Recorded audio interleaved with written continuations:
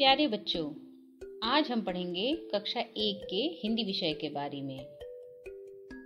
पाठ दो।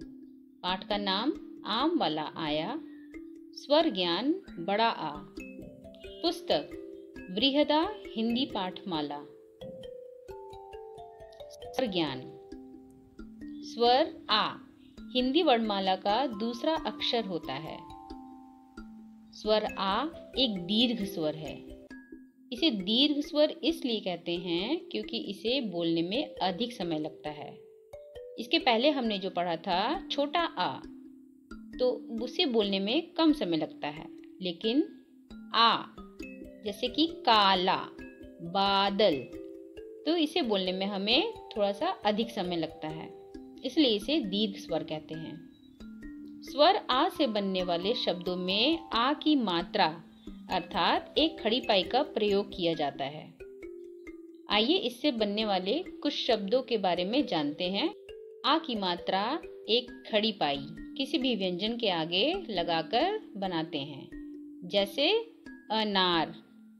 अ, न। न में बड़ा की मात्रा। ना, र। अनार।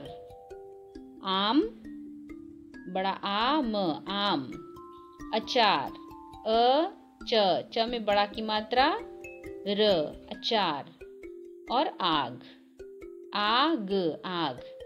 इस तरीके से हम बड़ा आ की मात्रा को प्रयोग करके शब्द बनाते हैं। आइए बड़ा आ की मात्रा से बनने वाले और भी शब्दों के बारे में जानते हैं एक कविता के माध्यम से। शीर्षक है, आम वाला आया। आया आया, आम वाला आया। आम लाया आम लाया।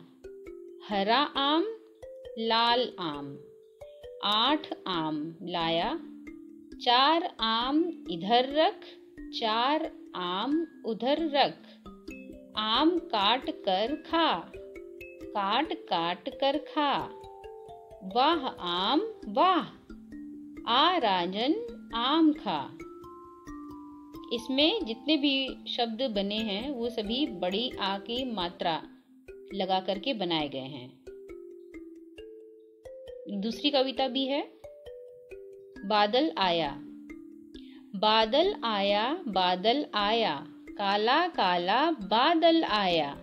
जल लाया जल लाया, काला बादल जल लाया। जल बरसा, झम झम झम। नाच उठा मन छम छम छम।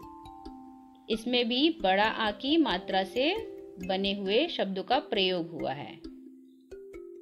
इनका आप अभ्यास करिएगा।